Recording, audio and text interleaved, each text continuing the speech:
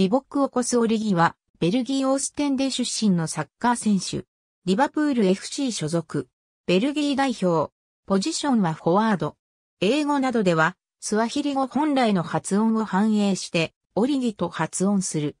KRC ヘンクのユースチームでキャリアをスタートさせ、2010年5月、フランスの LOSC リールメトロポールユースに移籍した。2013年2月2日、トロワ AC 戦でプロデビューを果たし、ディミトリ・ペーのクロスから8得点を記録した。2014年7月29日、イングランドのリバプール FC に移籍した。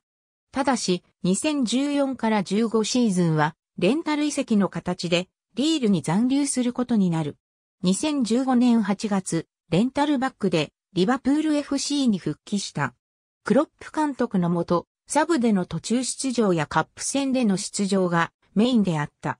2015年12月のリーグカップ準々決勝のサウサンプトン戦ではハットトリックを決めた。2016から17シーズンは11月のサンダーランド戦などでゴールを決めている。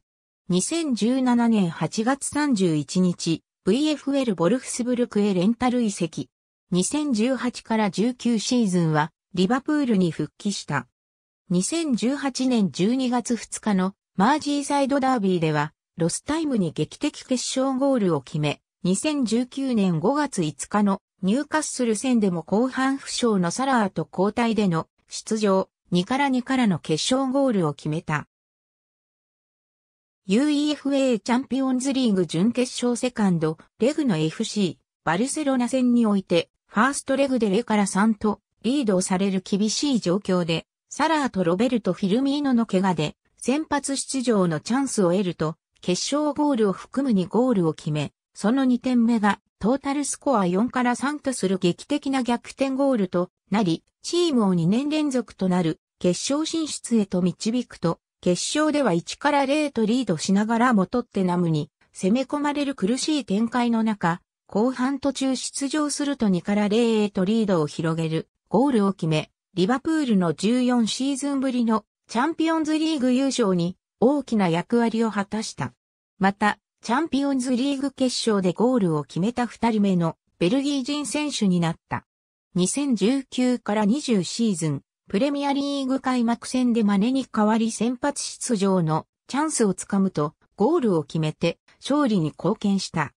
12月4日のエバートンとのマージーサイドダービーでは先発出場しにゴールを決め、ライバルからの勝利に貢献した。ベルギー代表として各年代でプレーし、2014年5月13日、2014 FIFA ワールドカップに出場するメンバーに選出された。